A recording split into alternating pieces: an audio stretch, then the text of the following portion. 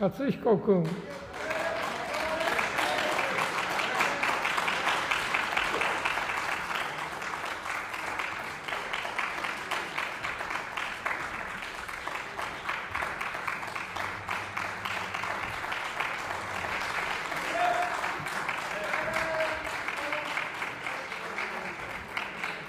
立憲民主党の山田勝彦です。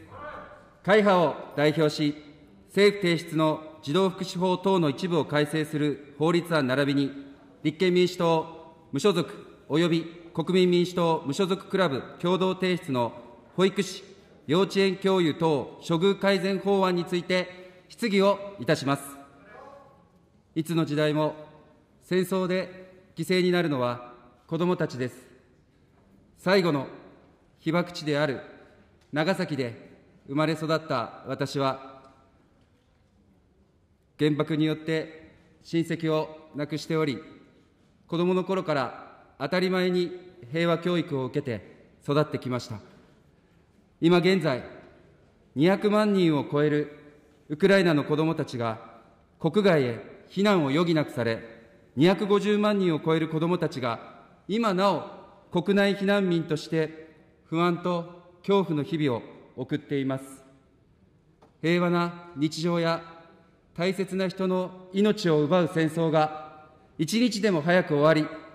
ウクライナに再び平和が訪れることを心より願います。そして、犠牲になられたすべての方々に対し、哀悼の意を捧げます。改めて、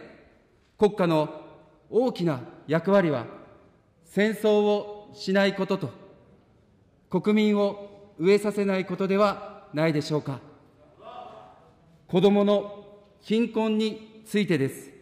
行き過ぎた資本主義、いわゆる新自由主義的な政策を推進し続けた結果、お金持ちはよりお金持ちに、貧しい者はより貧しく、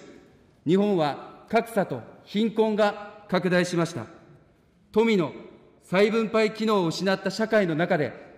7人に1人の子どもたちが貧困状態にあり、3食十分にご飯を食べられない子どもたちが現実にいます。そのような社会環境の中、貧困で苦しむ子どもたちへ、温かい食事を提供する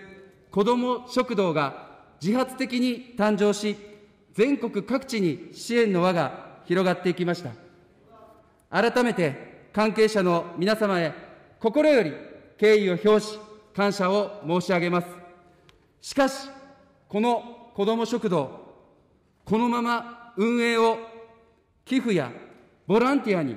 頼り続けていいのでしょうか？強い疑問を感じておりました。私たちの国で多くの子どもたちが貧困に苦しんでいる責任は、そもそも今の政治にあり、国から子ども食堂に対し、公的支援を行う必要があるのではないでしょうか？そこで、後藤厚生労働大臣にお伺いします。今や子ども食堂の役割は進化をし続け、食事の提供だけでなく、子どもの安心して過ごせる居場所となっています。本改正案によって、児童の居場所づくりの支援とありますが、国から全国各地の子ども食堂に対し、どのような支援が可能なのでしょうか。私自身、会社の仲間と共に、発達障害の子どもたちの自立支援事業、放課後等デイサービスを長崎県内の各地域で運営しています。障害児支援の現場で子どもたちから教わったことは、障害とは正確には個性であり、特徴であるということ、そして子どもたちには無限の可能性を秘めているということです。しかしながら、発達障害の子どもたちの多くは、学校でその個性や特徴を十分に理解してもらえず、お友達からいじめられたり、先生からはたくさん注意を受けたり、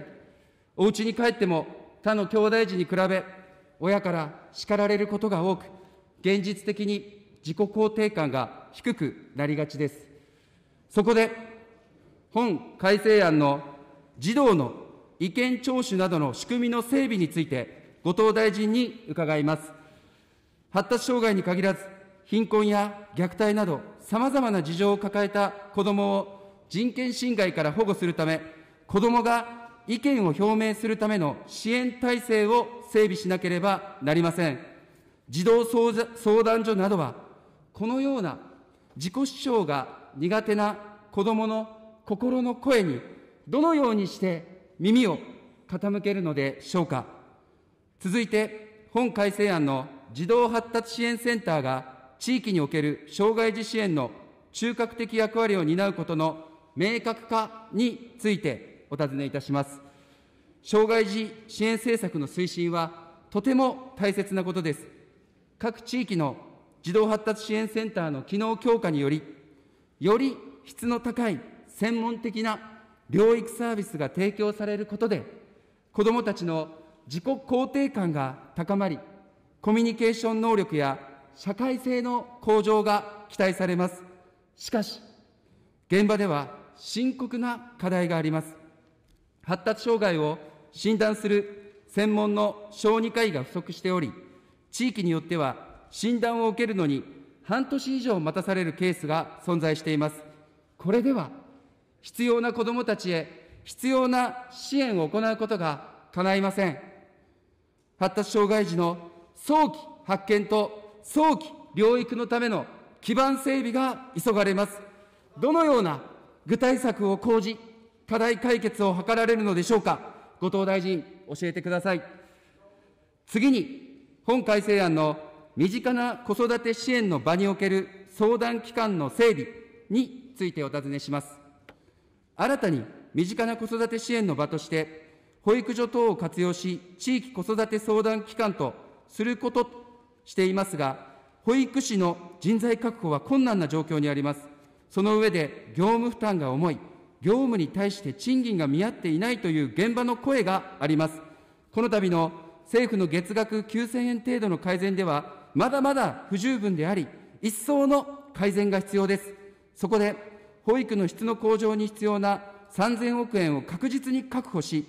1歳児、4歳児、5歳児、それぞれの保育士配置基準の見直しを早急に進めることを求めます。後藤大臣、いかがでしょうか？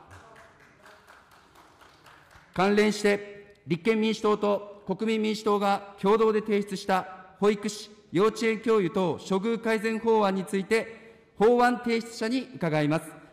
保育士や幼稚園教諭などの方々に対し、政府の処遇改善に加え、月額1万円の処遇改善を行うための法案が衆議院に提出されています。今、政府が行っている保育士の処遇改善に上乗せし、さらに処遇改善をする必要性を、保育現場や保護者の声を含めお答えください。また、同法案の法案提出者に伺います。政府の処遇改善策では、コロナの影響の中で、子どもたちの命を預かっている責任や、他の産業の方々との平均年収の格差からしても、まだまだ不十分と言わざるを得ません。この法案は、予算措置にとどまる政府案と比較して、どのような特徴があるのでしょうか。また、子育て支援の質の向上のためには、同じ職場で働く栄養士や調理師、事務職員などについても、処遇改善が必要であると考えます。これらの方々へ、どのような措置を講ずるのでしょうか。続いて、本改正案の子ども家庭福祉の実務者の専門性の向上について伺います。先日、私のところに里親支援を行っている友人から相談を受けました。現場のケースワーカーさんたちがあまりにも過酷な労働環境であり、相談業務が回っていない、子どもたちに会いに現場に出てきてくれる日は休日を利用している。これはあんまりではないか。ケースワーカーの処遇改善がなければ、子どもたちの未来を守れない。現場の支援者の方がここまで気を使い、そして気の毒に思うほどの児童相談所の労働環境のままでは、さまざまな境遇に置かれている子どもたちを救うことはできません。また、その支援者の方が、専門性が求められる職種であるにもかかわらず、2年から3年で人事異動があり、担当者が変わってしまう現状にも強い懸念を抱いておりました。急増する児童虐待相談数に対応するため、児童相談所の児童福祉士の配置基準を大幅に引き上げ、それに応じた財政措置を行い、児童福祉士を増員しなければなりません。政府は2018年に増員目標を掲げ、増員が実現されておりますが、現場は未だ深刻な人手不足です。また、専門的な資格を持った担当者が長く働ける環境を整える必要もあります。虐待から子どもたちを守るため、重要かつ緊急の課題です。後藤大臣、今回の改正案によって、いつまでにどれくらいの人員を確保する目標なのでしょうか。そして、その専門性を持った児童福祉士をどのようにして職場に定着させていくのでしょうか。最後に、本改正案の児童をわいせつな行為から守る環境整備についてです。この4月1日から児童福祉法の理念に反する深刻な問題が起こっています。具体的には、民法改正により成人年齢が18歳に引き下げられたため、事実上、高校生 AV 出演が解禁され、現役高校生 AV がすでにこの2週間で販売が急増しています。18歳から AV 出演させるため、高校1、2年生から囲い込みが始まり、幼さや高校生を売りとした AV が主流になることにより、さらなる被害の低年齢化が懸念されます。後藤大臣、この現状は児童福祉法の理念に明らかに反するのではないでしょうか。この現状をどう思われますか、そしてどのような対策を取られるのでしょうか。続けて、後藤大臣へお伺いします。AV 出演強要自体が性暴力である上に、強姦や強制わいせつ等の逮捕者の約3割が AV を見て影響を受けたとの調査結果があります。現役高校生 AV がこのまま急増するのを放置していれば、児童福祉法改正案の児童をわいせつな行為から守る環境整備に明らかに反し、高校生や児童への性犯罪や性暴力が増えるとの深刻な懸念があるのではないでしょうか。次に、野田大臣にお伺いします。このように4月1日から18歳の現役高校生 AV が急増していますが、啓発や現行法による対応により、18歳の現役高校生などの出演 AV を防止することは可能と考えられるでしょうか。最後にもう一度野田大臣にお尋ねします。この問題に対処するために、18歳、19歳の AV 出演契約に臨時的に取り消し権を与える議員立法を超党派で成立させる協議が今行われている最中です。政府が法的対応するまでの間、議員立法で対応することについて、男女共同参画担当の野田大臣のご所見をお聞かせください。以上、11項目の質問や提案をいたしました。子どもを守るのは大人の責任です。虐待や貧困から児童を守る改正案であること、また AV 出演強要から子どもや若者を守る国会であることを強く願いまして、私の質疑を終わります。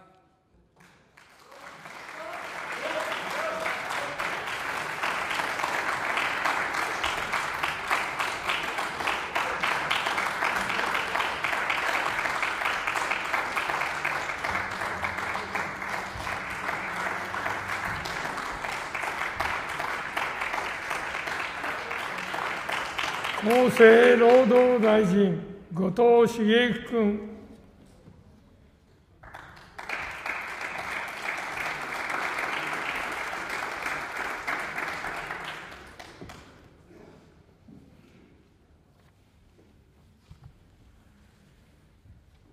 山田和彦議員のご質問にお答えいたします。子ども食堂についてお尋ねがありました。子どもの食事の確保や子どもたちが安心して過ごせる居場所を提供する観点から、子ども食堂等の活動は大変有意義なものであると考えています。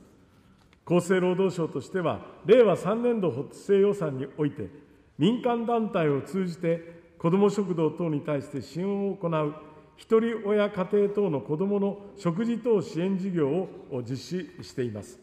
また、令和4年度においても、子ども食堂等が活用可能な施策として、ひとり親家庭の子どもに対する学習支援を行う子どもの生活学習支援事業や、子育て支援を行う民間団体等が、子ども等の状況の把握や食事の提供等に要する経費を補助する支援対象児童等見守り強化事業などを実施しているところです。さらに今般の児童福祉法改正案においては、市区町村の子ども家庭センターが地域において子育て支援を担う関係主体同士のネットワークを構築し、子どもや子育て世帯が子ども食堂等の支援に適切につながる環境の整備にも取り組むこととしています。引き続き現場のご意見を伺いながら、子ども食堂等の活動をしっかりと支援してまいります。子どもの意見表明支援についてお尋ねがありました。今般の児童福祉法改正案においては、児童相談所等は一時保護や入所措置を行うにあたっては、子どもの意見聴取を行うこととしておりますが、その際、子どもの年齢、発達の状況等に応じて実施することとしています。このため、子どもの属性や状態、抱える悩みは多様であることを踏まえ、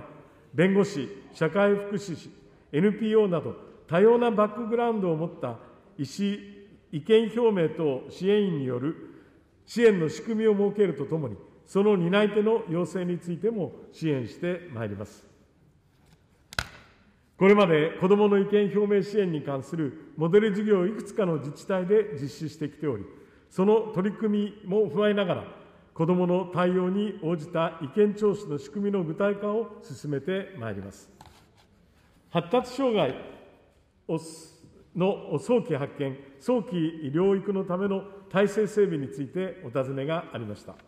発達障害を早期に診断し、適切な支援につなげていくためにも、地域における診断待機の解消は重要な課題であると考えています。このため、医療機関に診断前のアセスメントを実施できる医師以外の職員を配置することや、地域の児童発達支援センター等において、アセスメントや保護者へのカウンセリングを実施することなど、医療機関における速やかな診断のための取り組みを進めています。また、地域で発達障害を専門的に診療可能な医療機関を広げるため、発達障害の診療支援ができる医師の養成のための実地研修の実施や、地域の拠点となる医療機関への研修実施のコーディネートを行う職員の配置等の取り組みを進めています。今後ともこのような取り組みを通じて、発達障害の早期発見、早期療育のための体制整備に努めてまいります。保育士の処遇改善と配置基準の見直しについてお尋ねがありました。保育士等の処遇改善については、昨年11月の経済対策を受けて、令和3年度補正予算及び令和4年度予算において、本年2月から収入を3%程度、月額9000円程度引き上げるための措置を実施するための予算を盛り込んでいるところです。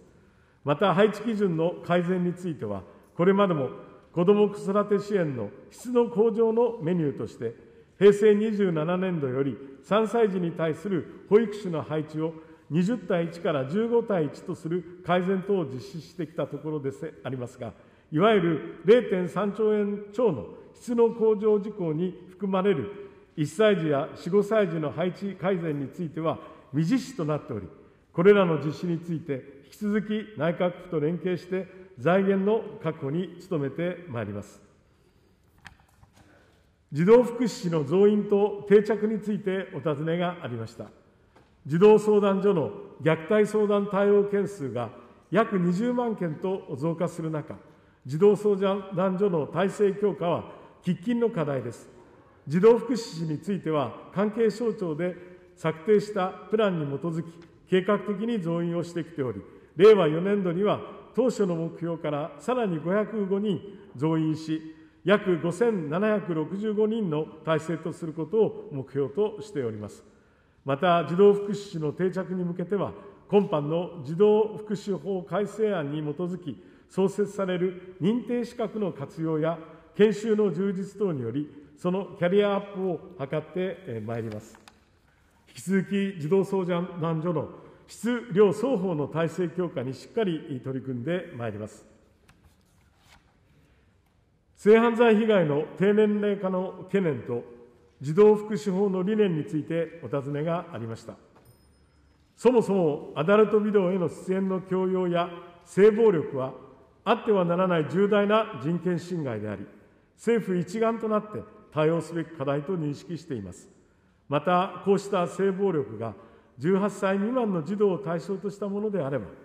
児童の健全育成といった児童福祉法の理念から言っても許されるものではないと考えています。厚生労働省としても内閣府を中心とした若年層の性暴力被害の防止に関する取り組みに協力しており、引き続き適切に対応してまいります。若年層に対する性犯罪や性暴力の増加の懸念についてお尋ねがありました。若年層への性暴力被害が深刻化するのではないかという大変大きな懸念については、私としても共有しております。先ほども申し上げたとおり、アダルトビデオへの出演の強要や性暴力はあってはならない重大な人権侵害であり、政府一丸となって対応すべき課題と認識しています。厚生労働省として内閣府を中心とした性暴力被害の防止に関する取り組みに協力しており、引き続き適切に対応してまいります。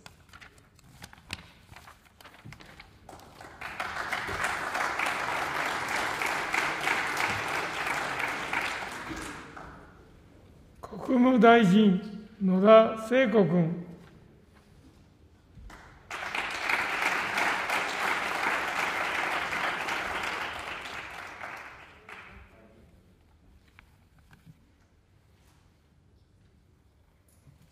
18歳のアダルトビデオ出演に関する被害の問題についてお尋ねがありました。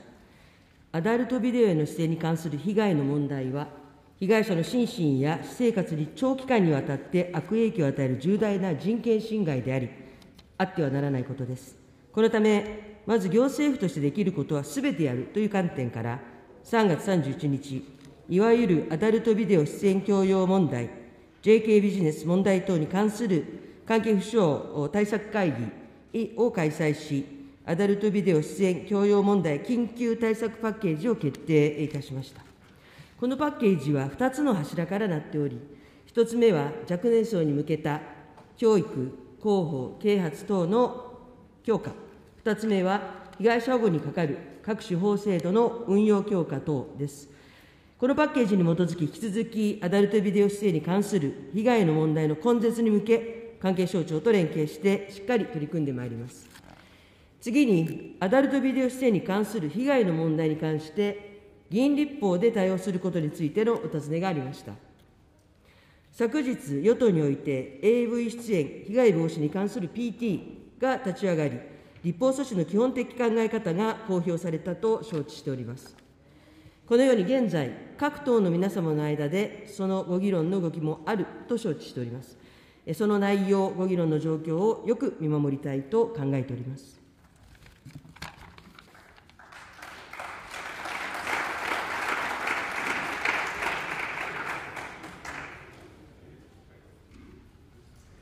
提出者、吉田晴美君。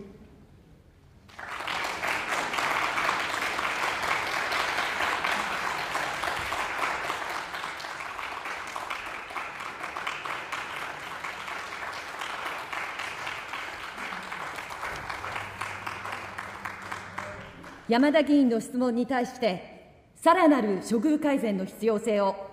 保育現場や保護者の生の声、実情を交えてお答えします。長引くコロナ禍で保育の現場は疲弊しています。感染対策の業務増はもちろんのことですが、もともと慢性的な人手不足に悩まされている中、コロナ禍が追い打ちをかけました。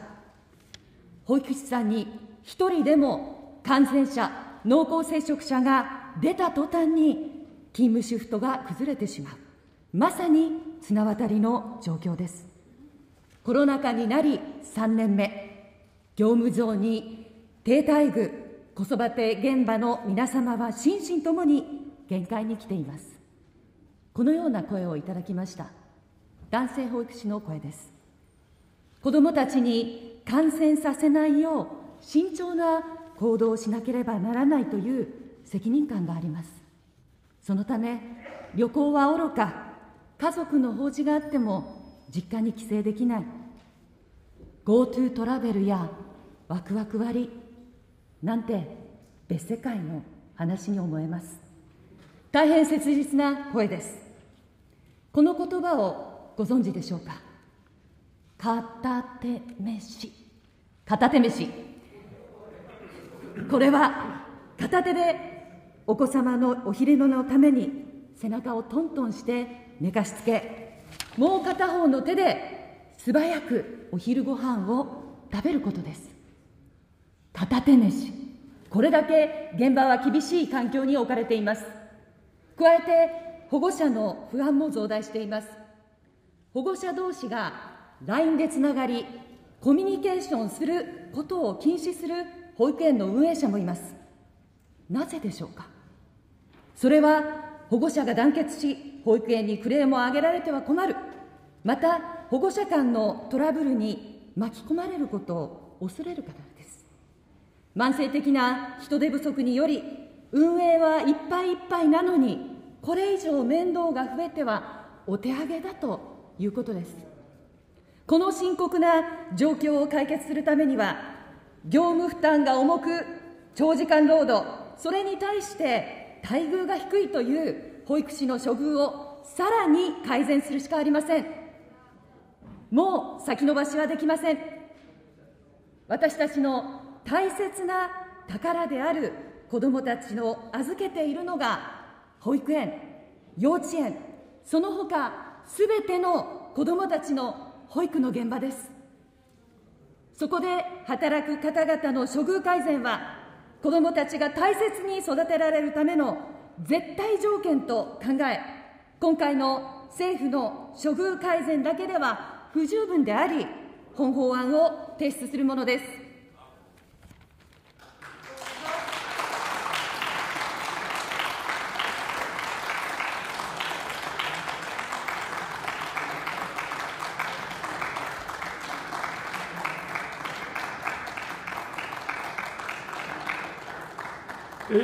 者、田中健君。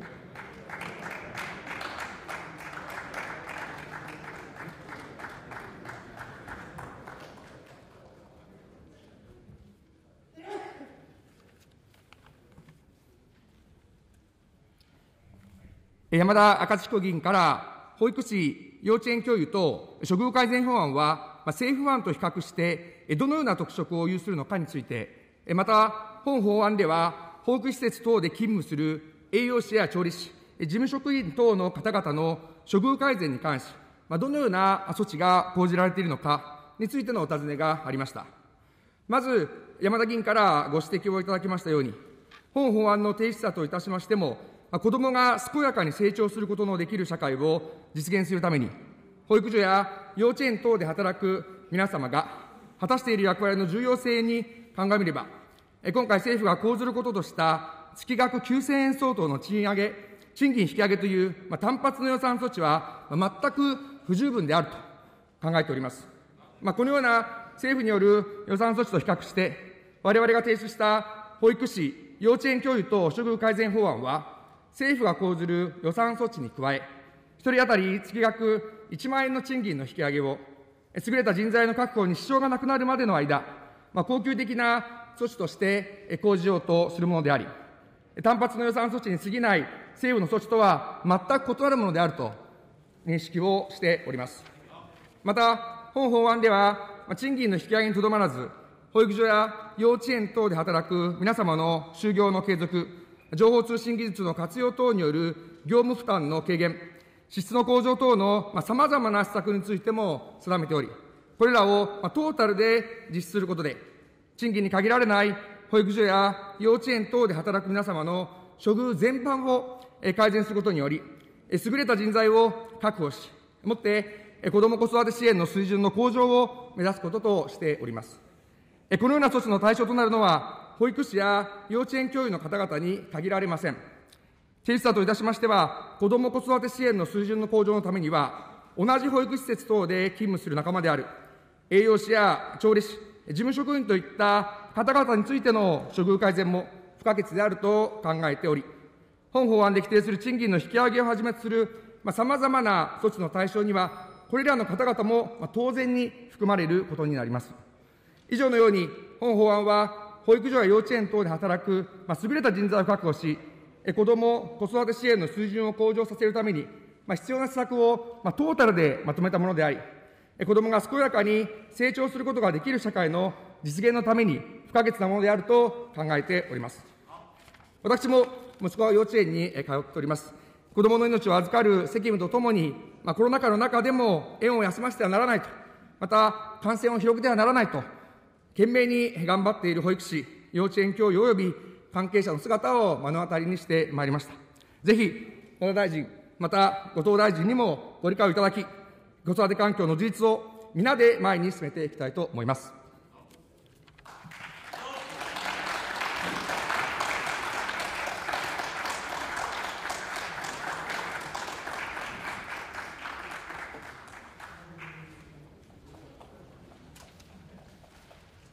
これにて質疑は終了いたしました。